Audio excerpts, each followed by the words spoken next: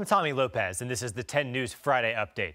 The search continues for a Christiansburg man Friday night with health issues. Carl Denny Alls was last seen leaving his home for a motorcycle ride Sunday.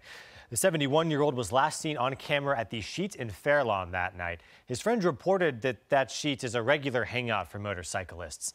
Now, multiple agencies, including many volunteers, are searching by ground and by air in an effort to bring him home. Police are also checking into his bank records, Facebook accounts, and cell phone records.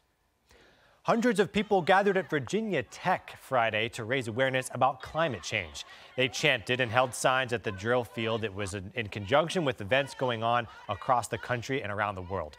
Local students say they feel Virginia Tech could be doing more to combat the problem, including using more renewable energy. Local veterans are using bricks to remember and honor some of their own.